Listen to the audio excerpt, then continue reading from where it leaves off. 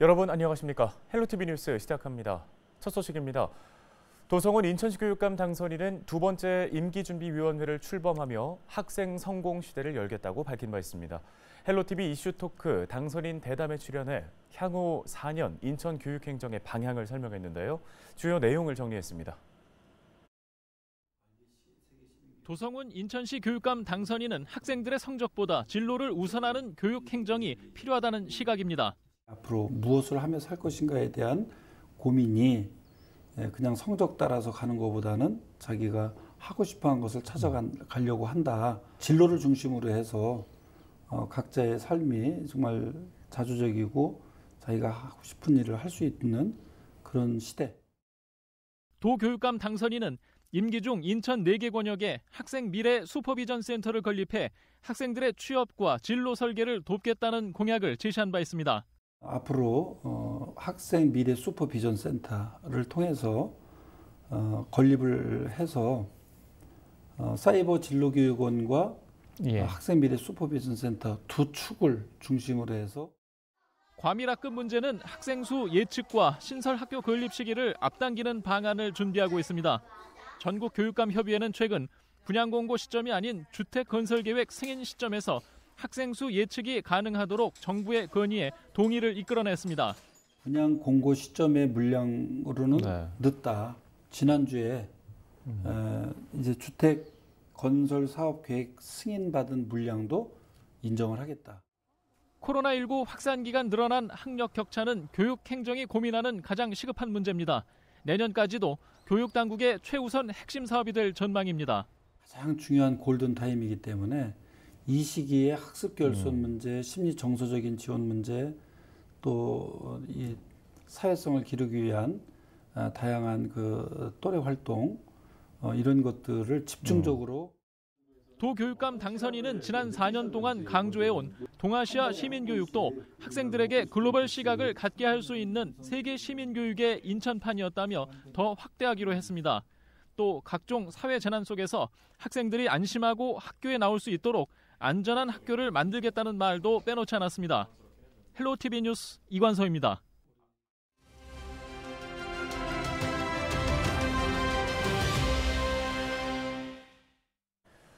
2년 전 김포 월곤면 공장을 무너뜨린 산사태 기억하실 겁니다. 근로자들이 퇴근한 새벽 시간대여서 인명사고는 피했지만 건물 두 덩이 종이장처럼 찢긴 아찔한 사고였는데요. 왜 이런 사고가 있었던 건지 수도권에도 장마가 시작되는 지금 돌아봐야 할 점은 없을까요? 현장 점검 360도에서 현장을 다시 찾았습니다. 이세진 기자입니다. 세찬 빗줄기에 흙탕물이 계곡물처럼 내려옵니다. 얼마 지나지 않아 흙더미가 쏟아지기 시작하더니 공장 외벽이 힘없이 무너집니다. 지난 2020년 여름 폭우 당시 CCTV 화면에 잡힌 김포 월군면 산사태 모습입니다. 사고가 난 지 2년 가까이 지났지만 현장은 여전히 참혹합니다. 무너진 모습 그대로 공장은 문을 닫았습니다. 흙더미 위로는 옹벽이 세워졌습니다. 빗물을 내려보낼 수로도 들어섰습니다. 하지만 불안은 남아 있습니다.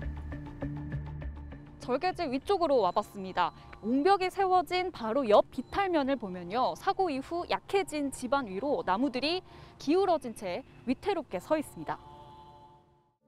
사고가 난 공장 뒤쪽으로도 들어가 봤습니다. 이게 원래 뚝이에요. 네. 여기 벌어지고 있잖아. 군데군데 보강이 필요한 부분도 눈에 띕니다. 여기까지 무너졌었거든요. 무너진 것만 해준 거예요. 근데 여기는 원래 안 무너진 건데 계속 무너지고 있잖아요. 사고 당시 재산 피해액만 11억. 책임 공방이 이어지는 동안 보강 작업은 임시 방편에 그쳤습니다. 공장 부도로 가장 큰 피해를 떠안은 세입자는 여전히 사고를 납득할 수 없습니다. 공사업자가 와서 하는 얘기를 제가 물어봤어요. 네. 이게 과연 산사태 때문에 그런 거예요? 아니면 자연재해입니까? 아니면 인재입니까? 인재입니까? 그랬더니 나보고 보래. 여기 갖다 뭐 온갖 잡쓰레기 같은 거 다 막고 있는데 이게 안 무너지겠니? 인재가 한70% 이상은 된대요. 음. 공사 한 개 엉성하게 했다 그러더라고. 음. 운영자가 사고를 인재로 꼽은 이유는 또 있습니다. 사고가 나기 전까지 이곳은 산사태 위험 지역이 아니어서 점검 대상이 아니었습니다. 사고 당시에 산사태 조짐을 느끼고 여러 기관에 신고도 했지만 제대로 된 안전 점검은 한 차례도 없었습니다. 제가 신고했었어요. 근데 뭐 따로 그 뭐야 안전 그 막 경계선 안전 들어가지 마시오. 그것만 해놨다가 여기 내가 보강을 했었어요 무너질까봐. 근데 이렇게 무너지니까 그냥 다 박살난 거지. 문제는 이 같은 사고가 다시는 일어나지 않을 거라고 장담할 순 없다는 겁니다. 개별 공장이 많은 김포는 산업단지 대신 땅값이 싼 절개지나 산 바로 아래 들어선 공장을 자주 볼 수 있습니다. 위험 요인은 많아졌지만 2016년부터 5년 동안 김포에서 산사태 위험 지역으로 지정된 곳은 9곳에 불과합니다. 정기 점검 대상인 붕괴 위험 지역도 4년 전 정한 14곳에서 한 곳도 늘지 않았습니다. 기후변화로 집중호우가 잦아진 가운데 개발로 곳곳이 깎이고 잘려나간 공장지대. 재해 안전 기준이 최소한에 머물고 있는 동안 위험한 절개지는 계속 늘어나고 있습니다. 헬로티비 뉴스 이세진입니다.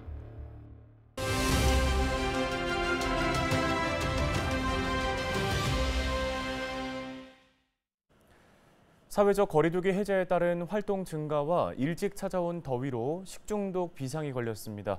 인제대 백병원 가정의학과 김경우 교수와 연결해서 관련된 도움 말씀 들어보도록 하겠습니다. 자, 교수님 먼저 식중독의 주요 원인 중에 하나가 노로바이러스인데요. 최근에 영유아 사이에서 노로바이러스가 유행하고 있다고 들었습니까? 원인이 뭔가요? 네, 이 노로바이러스 감염증은 그 노로바이러스 감염에 의한 급성 위장관염이 되겠는데요. 감염 경로는 주로 분변 구강 경로 감염입니다. 아, 이 노로바이러스의 특징은 겨울철에도 잘 유행하고 또 적은 양의 바이러스로도 높은 전염성을 가지고 있기 때문에 주로 뭐 어린이집이나 유치원, 사회복지시설 등과 같은 어, 어떤 집단 시설에서 단체적으로 어, 여러 명이 동시에 집단 설사를 잘 일으키는데요. 이 노로바이러스에 오염된 음식이나 물을 드셨을 때 또 이러한 손 접촉을 통해서 그 오염된 손으로 다시 입으로 바이러스가 들어갈 때 감염될 수가 있겠습니다. 네, 노로바이러스 감염 시 주요 증상은 어떻게 됩니까? 네, 노로바이러스에 감염되고 나서 반나절이나 이틀 만에 주로 토를 하거나 설사를 한다든지 또 배가 아프거나 또 뭐 감기처럼 열이 나고 또 오한 같은 것들이 나타날 수가 있겠고요.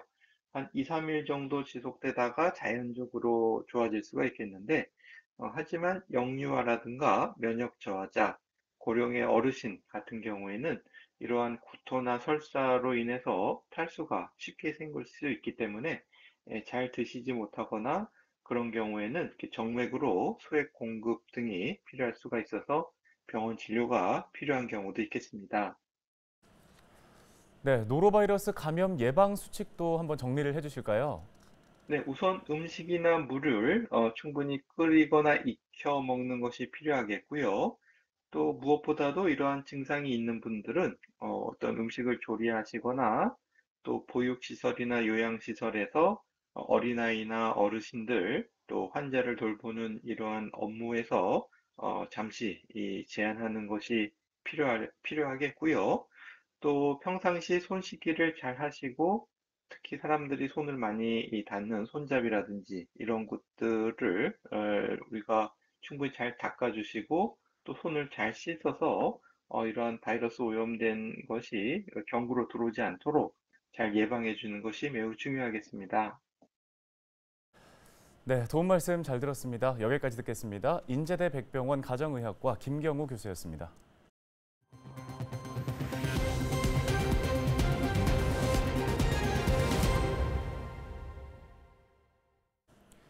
부평구가 23일 구청 소회의실에서 2022년 상반기 부평 미군기지 반환 활용 자문협의회를 진행했습니다.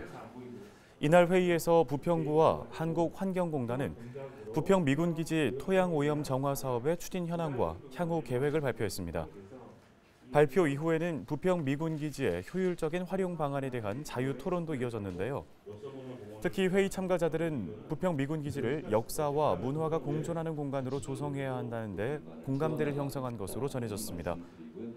지난 2015년 구성된 자문협의회는 부평 미군 기지의 효율적인 개발과 활용 방안을 모색하기 위해 주민 의견을 수렴하고 있습니다.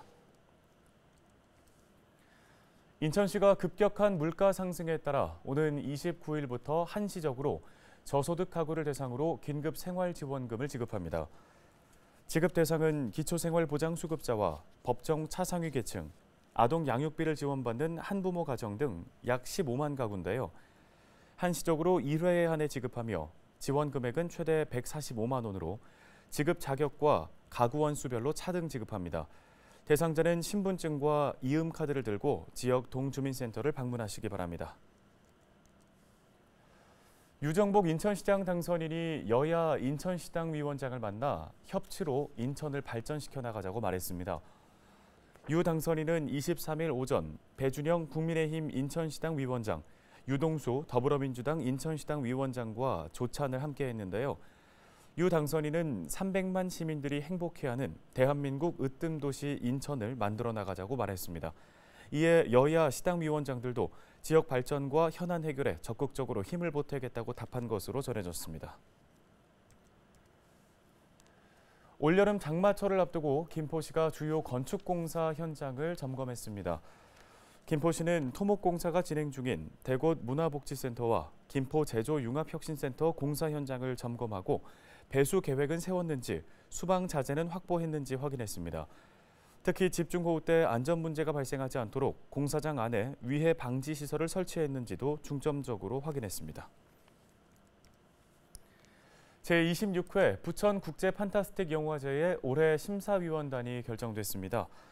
부천 국제 판타스틱 영화제는 23일 국내외 감독과 배우, 작가, 비평가 등으로 구성된 심사위원 16명을 위촉했다고 밝혔습니다. 시체스 국제 판타스틱 영화제 재단 이사장인 모니카 가르시아를 비롯해 영화 엑시트와 모가디슈 등을 제작한 영화사 외유내강 강혜정 대표와 배우 심혜진 등이 심사위원으로 나섭니다. 다음 달 7일 열리는 영화제에서는 49개국 영화 268편이 관객에 선보일 예정입니다.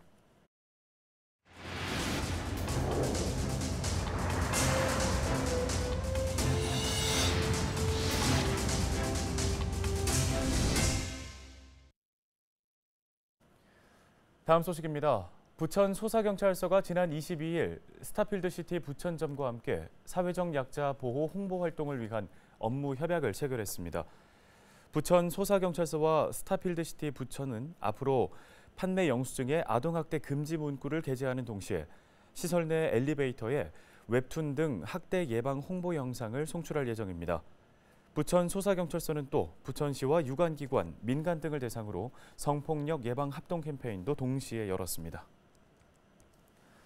부천시가 재해 재난 예방 차원에서 노후 건축물에 대한 실태 조사를 실시합니다. 안전진단 전문기관에서 맡는 이번 실태 조사는 건물의 상태에 따라 양호, 주의 관찰, 지정 검토 등 3단계로 분리해 분류해 관리할 예정입니다. 조사 대상지는 준공 15년이 지난 소규모 공동주택 101곳과 다중이용 건축물, 공장 23곳 등을 포함해 모두 124곳입니다. 부천시는 지정검토 대상으로 분류된 제3종 시설물에 대해서는 해빙기와 우기, 동절기 때 안전 상태를 주기적으로 살피고 있습니다. 부천시가 행정안전부, 경기도와 함께 지역 내 지진 5개 대피 장소의 관리 실태를 점검했습니다. 부천시는 지난해 두 곳에 불과했던 5개 대피소를 올해 상반기 42곳까지 확대한 데 이어 인구 대비 수용률 100%를 달성할 때까지 추가 지정한다는 계획을 세우고 있습니다. 부천시 지진 5개 대피소 정보는 부천시 홈페이지와 국민재난안전정보 포털 안전디딤돌 앱에서 확인할 수 있습니다. 김포시청 테니스 선수단이 창단 이래 첫 우승을 거머쥐었습니다. 김포시청 직장운동경기부 테니스 선수단의 김대한, 이재명 선수는 23일까지 열린 제1회 한국 실업테니스 연맹전 복식 경기에서 금메달을 획득했습니다. 이번 금메달은 지난 2020년 선수단 창단 이후 첫 금메달입니다. 오늘 저희 헬로티비 뉴스가 준비한 소식은 여기까지입니다. 함께해 주신 여러분 고맙습니다.